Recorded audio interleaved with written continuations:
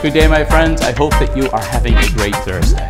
And today's quote is The real voyage of discovery consists not in seeking new landscapes, but in having new eyes. That was by the French novelist, critic, and essayist Marcel Proust. Today's act of kindness is don't jump to conclusions.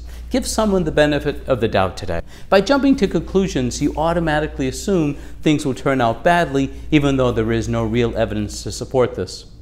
You make the assumption and then behave accordingly, which can then influence how things actually do turn out. When you find yourself starting to jump to conclusions, step back and take a deep breath and recognize that you're actually not a mind reader or a fortune teller. No one is. Today's positive affirmation is Today I will be radiant. I will let my inner beauty and my good heart shine through. I thank you for watching and have an amazing rest of your day.